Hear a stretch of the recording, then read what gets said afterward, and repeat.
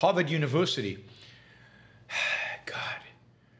I mean, Harvard is now, uh, Harvard is, is standing by its, uh, its president, Claudine Gay, who is the president of Harvard. She is one of the three presidents of universities who uh, did, uh, uh, you know, did a, a, pathetic presentation before Congress that uh, couldn't answer simple questions, uh, couldn't articulate a, a, a, a simple position with regard to speech and with regard to harassment on their campuses. One of those presidents, the president of University of Pennsylvania, has been fired as a consequence of it, or she resigned as a consequence of pressure. But Harvard has stood by Claudine Gay.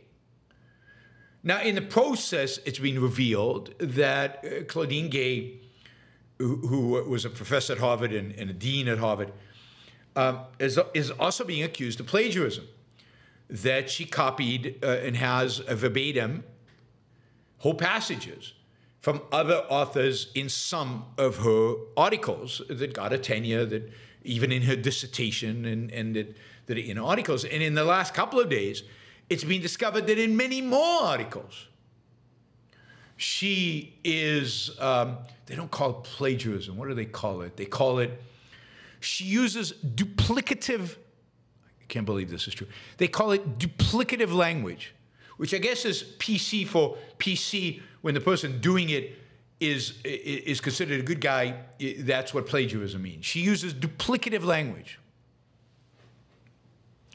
So massive criticism not only about the response to anti-Semitism of the university, and then the response to anti-Semitism that she, how she presented it in front of Congress, but now uh, she's getting significant criticism over her scholarship. Uh, put aside the quality of her scholarship, which I'm pretty sure is horrible, but the idea of plagiarism. Now, we're not talking about some third-rate college somewhere. We're not talking about some anonymous university somewhere. We're talking about Harvard University.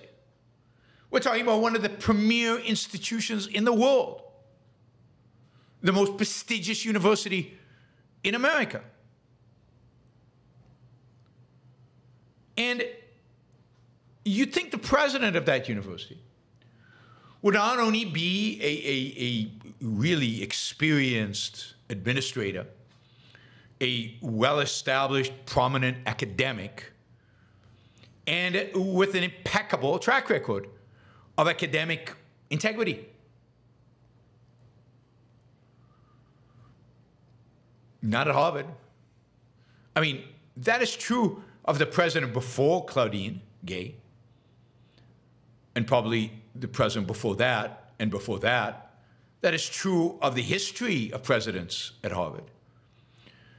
But it's, I think, becoming clearer and clearer that Claudine Gay is the president of Harvard because of her adamant advocacy for DEI, diversity, equity, and inclusion, and because she is a DEI appointment, both a woman and she's black.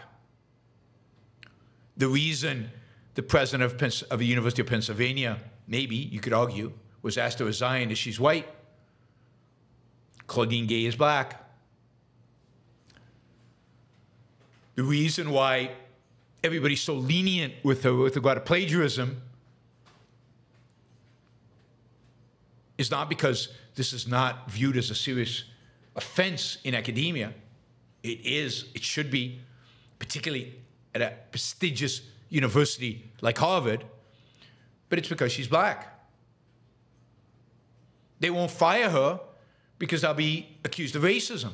Indeed, 80 black Harvard University professors have written a letter basically saying that. You fire her, you're racist. Claudine does not have the, I don't know, integrity to resign herself. She obviously is not the best candidate for a position like this. But you know, the, the, the board of trustees of Harvard University is sticking by her.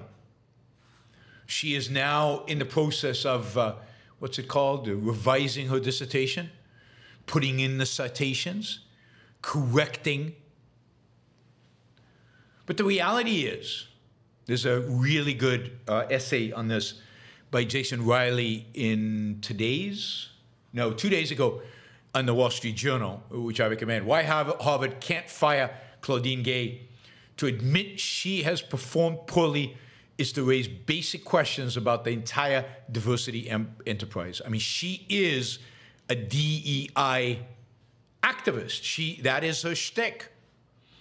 Not only does Harvard admit students, not based on ability, but based on DEI standards, but there's every reason to believe that it hires its professors, not based on ability, but based on DEI standards. And now it's probably the case that it hired its president, not based on DEI standards, but based on, not based on, sorry, not based on ability, but based on DEI standards. Um, horrible to see such a, great academic institution uh, lower itself to this position, but this is this is the consequence of embracing a, a this uh, kind of leftist, um, uh, altruistic, racist ideology that is DEI that places uh, that places weighting, uh, weighting in, in hiring, in admittance, in every aspect of academic life on somebody's race, which should be irrelevant. Gone is the stand of colorblindness. Gone completely. So, and, and we see that in, in, in this pathetic display at Harvard. So, sad. Sad. Um,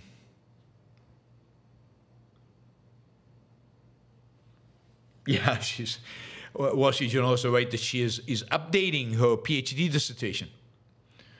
But the school, as of today, this morning, as of December 21st in the morning, uh, the university is standing behind us and calls uh, all the claims about uh, about her lack of uh, I don't know academic qualifications and and uh, shoddiness of academic work and plagiarism it claims are meritless, even though these are clearly documented and, and, and seem to be seem to be pretty clear cut.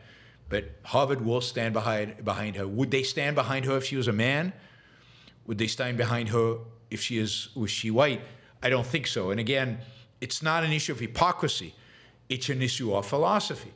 The entire philosophy, in that sense, they have integrity, right? Integrity to their irrational philosophy not integrity in the full objectivist sense, they, they, they're not hypocrites. They're abiding by their philosophy, and that is that the standards you apply to those who come from an oppressed history, from an oppressed context, are different because you have to establish equity, and the only way to establish equity is to penalize those who come from the oppressor background and to elevate by whatever means those who come from the oppressed background. And, and one of the great tragedies of this and the great victims of all this, and this is true of affirmative action, and Ayn Rand was writing about this in the 1960s, is that blacks of ability, minorities of ability, of ambition, that are truly worthy because of merit will be looked on with suspicion. Nobody will know exactly. They, uh, do they have that position because of their merit, because of their achievements, because of their talents, because of their skills, or because of the color of their skin? Because of DEI.